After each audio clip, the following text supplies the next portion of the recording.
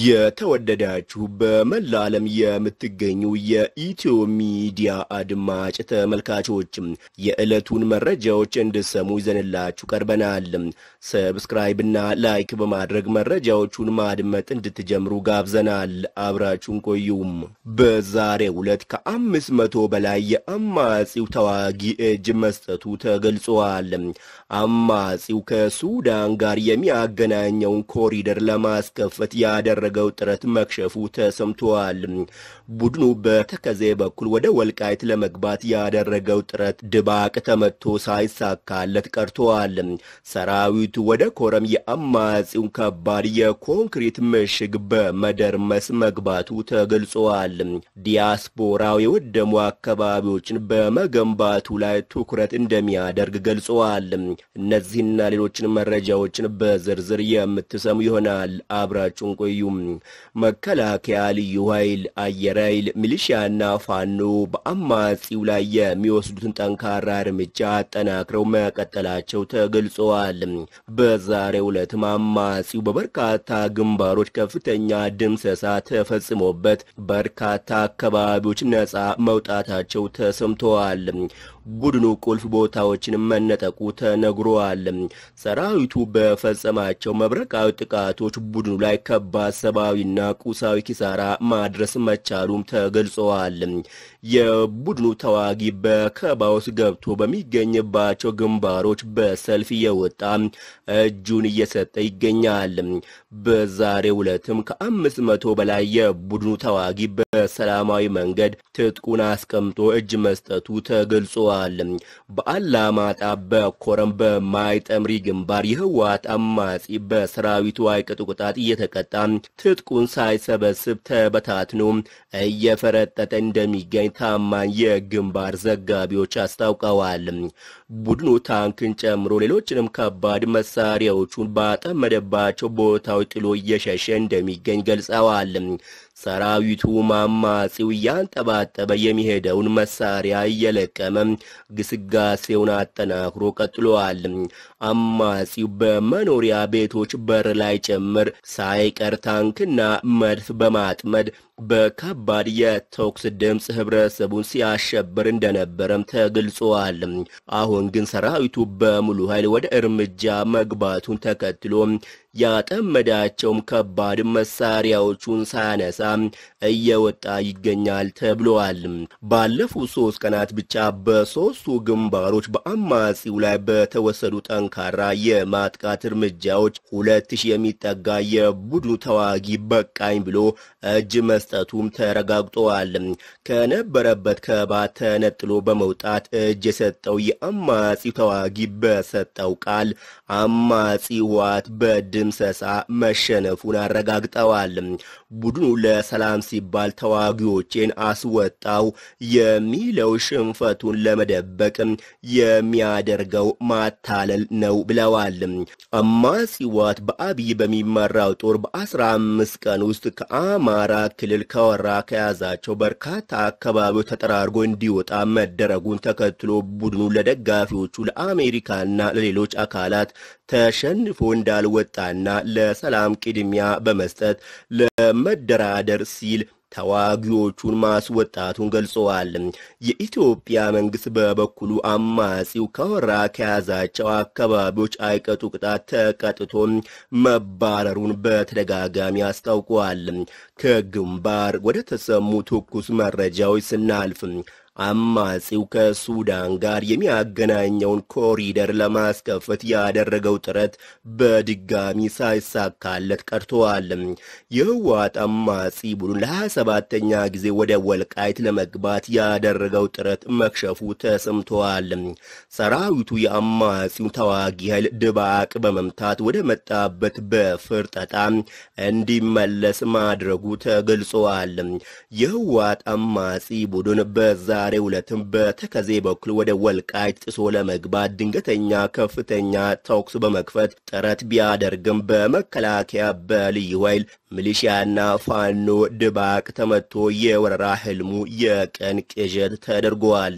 ቡድኑ በተከዜ አድርጎ በወልቃይት ወደ ሱዳን የሚያስገባውን ኮሪደር ለማስከፈት የሞሽረት ትግል ቢያደርግም በሰራዊቱ አስደናቂ የመልሶ ማጥቃት እርምጃ ተመትቶ ሳይሳካለት እንደቀረ ታማኝ የመረጃ ምንጮች አስታውቀዋል። አማጺው ከሱዳን ጋር ጥብቅ ቁርኝት ለመፍጠርና ከግብፅ የሚላኩ መሳሪያዎችን በቀላሉ ለማግኘት ወልቃይትን በጥብቅ የሚፈልጋት ሲሆን ያደረጋቸው ሙከራዎችም በሰራዊቱ ጥንካሬ ከሽፈዋል። ቡድኑ በሱዳን በኩል ለመግባት አጋጣሚ በመጠባበቅ ላይ ባለው ሳምሪ በተሰኘው ኃይል ጥቃት እየሰነዘረ እንደሚገኝም ለማወቅ ተችሏል። ሳምሪ የተሰኘው የአማጺው ክንፍ ወደ ኢትዮጵያ ለመግባት ያደረገው ሙከራም ከሽፏል። በተከዜ ግንባር የተሰለፈው የወገን ጥምር ጦር እጅግ ጠንካራና ለማንም የማይመለስ እንደሆነ በተደጋጋሚ ባገኛቸው አኩሪ ድሎቹ አረጋግጠዋል። የአማራ ልዩ ኃይልና ሚሊሺያው ደግሞ በጀግናው ኮሎኔል ደመቀ ዘውዱ የሚመራ መሆኑ ይታወቃል። ደመቀ ዘውዱ ከዚህ ቀደም ለህወሓት ባስተላለፈው መልእክቱ ወልቃይት የአማጺው መቀበሪያው እንጂ መፈንጫው አትሆንም ማለቱ ይታወቃል።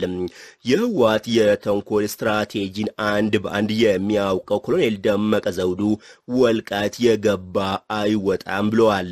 የህወሓት አማጺ ባለፉት ተከታታይ ቀናት በተከዜ በኩልና በሱዳን በኩል ተደጋጋሚ ጥቃት በመሰንዘር ወደ ወልቃይት ለመግባትና ከሱዳን ጋር ለመገናኘት ከፍተኛ ጥረት እያደረገ ይገኛል።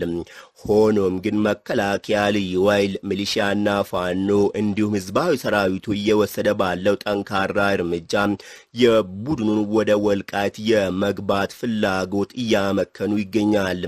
በወልቃይት ተከዜ ግንባር ሰራዊቱ አማጺው ላይ በወሰደው ከባድ የማጥቃት እርምጃ ከፍተኛ ሰብአዊና ቁሳዊ ኪሳራ እንዲደርስበት ማድረጉም ተገልጿል።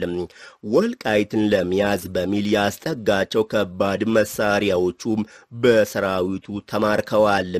ይህ በእንዲህ ያለ ሰራዊቱ ወደ ኮረም የአማጺውን ከባድ የኮንክሪት ምሽግ በመደርመስ መግባቱ ተገልጿል። መከላከያ፣ ልዩ ኃይል፣ ሚሊሺያና ፋኖ ለማመን የሚከብድ ጀብዱ ፈጽመዋል። በአስደናቂ መናበብ የአማጺው መተማመኛ ምሽግ በመስበር ወደ ኮረም ከተማ ጥሰው መግባታቸው ተረጋግጧል። በዚህ ግንባር በሺ የሚቆጠር የቡድኑ ተዋጊ መማረኩና እጅ መስጠቱ ተገልጸዋል። አማጺው አሁን ላይ የኮረም የወራት ቆይታውን አጠናቆ ትጥቁን ሳይሰበስብ ተበትኖ እየፈረጠጠ ይገኛል። ሰራዊቱ ከቡድኑ ቁልፍ ቦታዎችን በመንጠቅ ኮረምን ሙሉ በሙሉ በእጁ ለማስገባት ከፍተኛ የማጥቃት እርምጃውን አጠናክሮ ቀጥለዋል።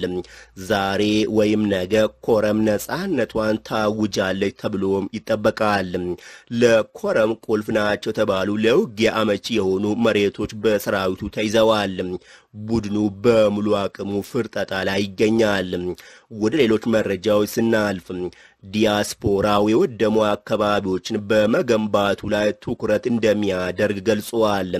የጠቅላይ ሚኒስትሩን ጥሪ ተቀብለው ወደ ሀገር ቤት የመጡ ኢትዮጵያውያንና ትውልደ ኢትዮጵያውያን የወደሙ አካባቢዎችን መልሶ ለመገንባትና አሜሪካና አንዳንድ ምዕራባውያን በኢትዮጵያ ላይ የያዙትን የተዛነፈ አመለካከት ለማስተካከል በትኩረት እንደሚሰሩ ተናግረዋል።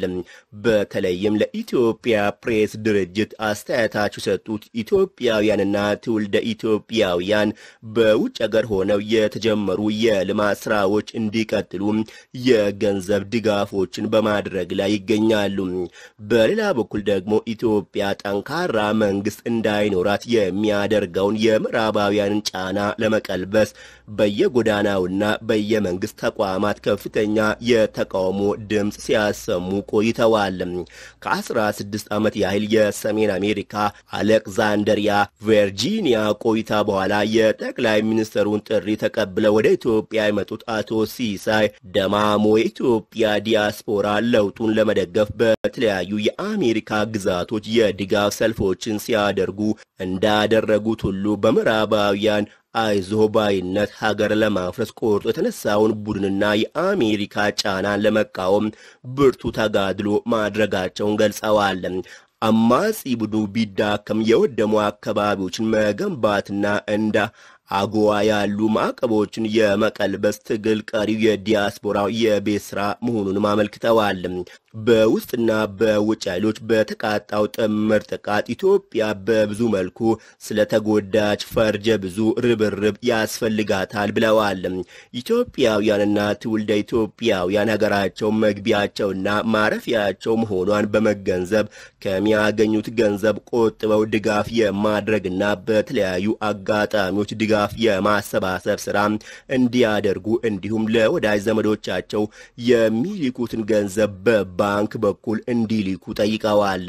የውጭ ዓለም ሚዲያዎች ኢትዮጵያን ለመኖር ምቹ እንዳልሆነችና ወጥቶ መግባት አዳጋች እንደሆነ አድርገው የሚነዙት የስጋት ፕሮፓጋንዳ ወደ ሀገር ቤት በመምጣት ካዩት እውነታ ጋር ፍጹም ተቃራኒ መሆኑንም ገልጸዋል። ወደ አሜሪካ ሲመለሱ እውነታውን እንደሚገልጹና የሴራና የስጋት ፕሮፓጋንዳውን እንደሚያጋልጡም ገልጸዋል። በተመሳሳይ መረጃ ዳያስፖራው በዘንድሮ በጀት ዓመት በአምስት ወራት ከአንድ ነጥብ ስድስት ቢሊዮን ዶላር በላይ ገንዘብ በህጋዊ መንገድ ወደ ሀገር ቤት መላኩን የኢትዮጵያ ዳያስፖራ ኤጀንሲ አስታውቀዋል። ከሪሚታንስ ለማሰባሰብ መታቀዱንም አመልክተዋል። ዳያስፖራው በአይዞን ኢትዮጵያ የገንዘብ ማሰባሰቢያ አማራጭና በውጭ ሀገራት በሚገኙ ሚስዮኖች አማካኝነት ለተፈናቀሉ ዜጎች ከአራት መቶ ሚሊዮን ብር በላይ ድጋፍ ማድረጉም ተገልጸዋል። በአይዞን ኢትዮጵያ ሁለት ወር ባልሞላ ጊዜ ውስጥ ከ256.9 ሚሊዮን ብር በላይ ለተፈናቀሉ ወገኖች ማሰባሰብ ተችሏል። ዳያስፖራው በአምስቱ ወር ለሀገር መከላከያ ሰራዊት ከመቶ ሶስት ሚሊዮን ብር በላይ በገንዘብና በአይነት ለገጽታ ግንባታ ስራዎች ደግሞ ሶስት ነጥብ አምስት ሚሊዮን ብር ድጋፍ ማድረጉን የኢትዮጵያ ዳያስፖራ ኤጀንሲ አስታውቀዋል። በአምስት ወራቱ በኢንቨስትመንትና ንግድ ላይ ለመሰማራት የ22 ነጥብ አራት ቢሊዮን ብር ካፒታል ያስመዘገቡ 339 ዳያስፖራዎች ፍላጎት ማሳየታቸውንም ኢዜአ ዘግበዋል። ዳያስፖራው ባለፉት ሶስት ተከታታይ ዓመታት 9 ቢሊዮን ዶላር የሚጠጋ ገንዘብ በህጋዊ መንገድ ወደ ሀገር ቤት መላኩም ተገልጸዋል። የተወደዳችሁ የኢትዮ ሚዲያ አድማጭ ተመልካቾች ለአሁን ያዘጋጀንላችሁ ዘገባ በዚሁ ተጠናቀቀ። ተጨማሪ ትኩስ መረጃ በቶሎ እንዲደርሳችሁ subscribe በማድረግ የደውል ምልክቱን በመጫን ቤተሰብ ይሁኑ። የቀረበላችሁን መረጃ ከወደዳችሁት ደግሞ በ like share ድጋፋችሁን ግለጹልን።